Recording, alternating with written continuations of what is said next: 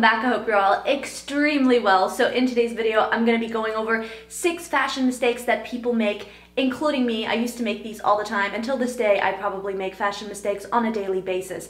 Now, this video is just meant to be a bit of fun, so don't take it too seriously. I think that fashion has no rules and wear whatever makes you feel confident and what makes you feel good. That is what it's all about, okay? That's the great thing about fashion. That is why I love fashion, is that we can all, all like express who we are through clothing. Um, but yeah, these are just a few things that I think we should try to avoid if possible. Uh, okay, without further ado, let's go ahead and just jump right into this video. If you're new to my channel, oh, there goes my phone. Uh, welcome, my name's Angelique. I make new videos twice a week about luxury and fashion, and if that is something you're into, then I would really appreciate it if you would hit that subscribe button down below.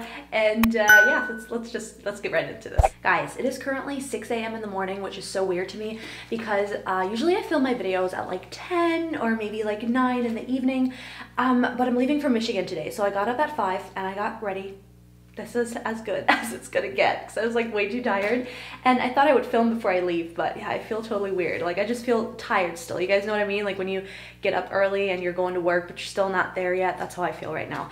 Um, so anyways let's go ahead and talk about the first fashion mistake that I think a lot of people make that is just bad and we just should not do it and that is showing your bra straps. So if if you wear anything at all that could possibly be showing your bra straps. Just wear a strapless bra with it. I do not know why so many people don't do this. Um, and trust me, I used to do this all the time when I was younger. And looking back, I just think for some reason, I just don't like this one. Like this one is really personal to me. I just think it looks bad. Um, so every time I see someone that is wearing like a tank top and you can see the bra straps, I just cringe. Or if they're wearing maybe like a tube top, you know, a top that has no, no straps or anything at all, that shows your shoulders completely and you see the bra straps, I always think to myself, why not wear a strapless bra? It's so easy. And to be honest with you, 90% of the time, like even right now I'm wearing a strapless bra, um, I just think they're more comfortable, but I know not everybody can do that. I mean, I you know, my boobs aren't that big, so maybe that's why I can do that. but I know for some people, you know, it's just more comfortable to have straps. However, However, I, I cannot stress enough, if you're gonna wear something that will possibly show your bra straps, just try to find a strapless bra that, you know, you feel comfortable in so they don't show. Also, how awesome is it that I'm talking about fashion mistakes and I just noticed that I got lipstick on my shirt when I put it on. That's just awesome. Okay, so the second mistake is uh, mixing too many prints. Now, don't get me wrong, some people can really pull this off, and I know a lot of people love mixing a bunch of prints, but for me personally, I use prints as a statement. So let's say that I'm wearing a leopard print skirt. That is gonna be the only print you see on me because that is where I want the focus to be on. I, I don't wanna wear a bunch of prints and people don't know what to look at. They're getting all confused. Um, so yeah, for me, I really just use prints, any kind of print as a statement. So I keep uh, the other items around this one piece neutral and basic. So it, it's all kind of balanced out if that makes sense. So yeah, but sometimes, you know, I'll see people and they maybe have a striped shirt on and then they have leopard pants and then maybe crazy shoes. It's just a little too much and I feel like it takes all the fun out of it. It's just, I don't know, it's just for me personally, I just think it's too much and I think balance is really key with prints. Next up is over accessorizing. Now by that I mean um, wearing too much jewelry. This can really, again, just kind of overwhelm your entire outfit. So for me, the rule I go by is if I'm wearing a bigger necklace or a statement, something on my neck that is a statement, I'm gonna go with something very small in my ears or sometimes I don't wear any earrings at all Now, it goes the same way the other way around. If I'm wearing bigger earrings that stand out, I don't wear anything on my neck or I just wear something very subtle. And I do the same with my hands if I'm wearing a bunch of rings. I don't do that many bracelets.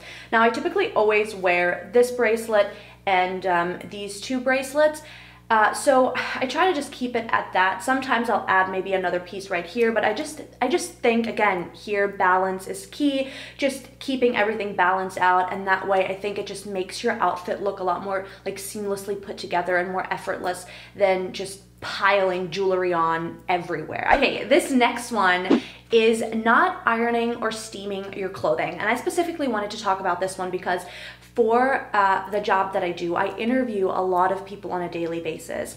Um, and when people come into an interview with unironed clothes that is just super wrinkly, to me, it just seems like they didn't put any effort into it at all. So I think this applies in any aspect of life though like not just for job interviews. Like you should take the effort to steam or iron your clothing. Um, again i didn't used to do this like a couple years ago. I didn't care. But now i won't wear a pair of pants or a shirt that is super wrinkly. I mean sometimes it happens you know sometimes you wear pieces like linen you iron them and once you wear them for a little bit they end up super wrinkly again. But um, if you just put a little bit of an effort into it and at least try to steam and iron your clothes and keep it nice and neat. It's just gonna make you look more polished and more put together. And just like you put a lot more effort into your outfit than you know you actually have. Okay, this next one I'm not gonna talk about too much because I feel like it's already been talked about like so many times, but it is wearing leggings as pants.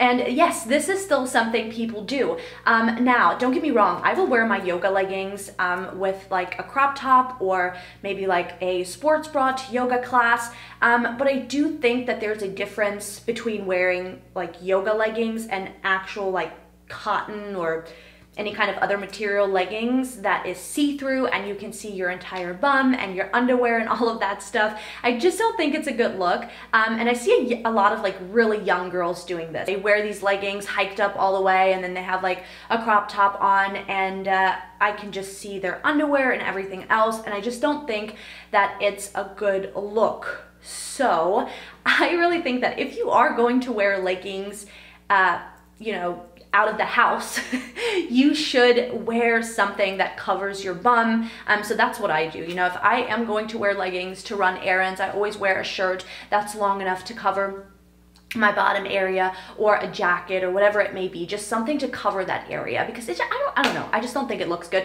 and even if you are at home and you check in the mirror. Like I've done this, guys. I've done this. Like I've worn a shirt before that wasn't long enough. And so I checked in the mirror at home, like I turned around and I looked and I did like the whole sun test thing. But then once I left the house, um, you could still see through my leggings. And how do I know? Because people told me. They were nice enough to tell me, but sometimes people don't tell you. So, so yeah, just, just avoid it, guys. Just wear something that is going to cover your butt. Okay, and last but certainly not least is wearing dirty shoes.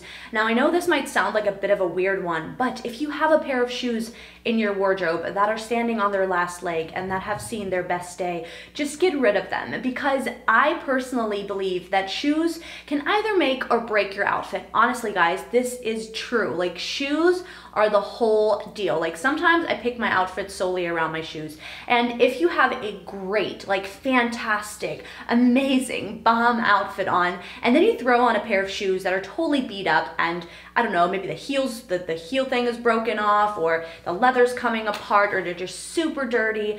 It's just gonna ruin your outfit, guys. And I know nowadays there are shoes that you can buy that are actually already kind of distressed. And I'm saying this because most of you probably know that I do a pair of Golden Goose sneakers, which are meant to look kind of worn and um, but I don't mean that kind of look. I'm really talking about just shoes that have no business being in your wardrobe anymore.